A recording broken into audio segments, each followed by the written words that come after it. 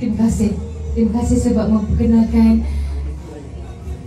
Kak Lina dalam industri. Terima kasih sebab tolong Kak Lina daripada dulu sampai sekarang tak kisahlah walaupun maju macam mana pun.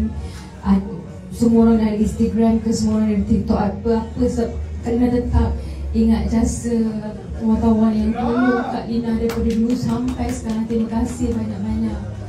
Dan Kak Lina juga nak ucapkan terima kasih juga pada keluarga Kak Lina khusus um, Mama, Abah, hmm, suami Kak Lina, Papa yang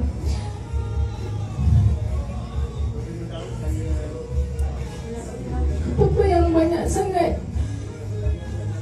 memahami bertanggung jawab jaga anak-anak waktu Kak Lina tak ada.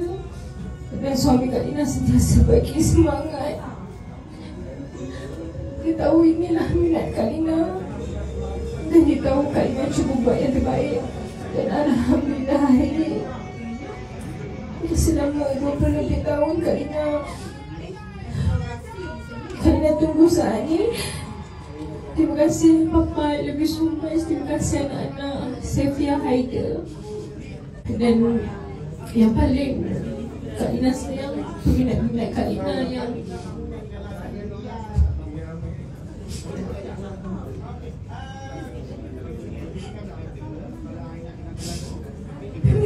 Lina yang sentiasa support Kak Lina sampai hari ini. Kak Lina hanya Allah je yang boleh balas segala kebaikan anda semua. Lina. Kak Lina tak ada kata-kata untuk korang.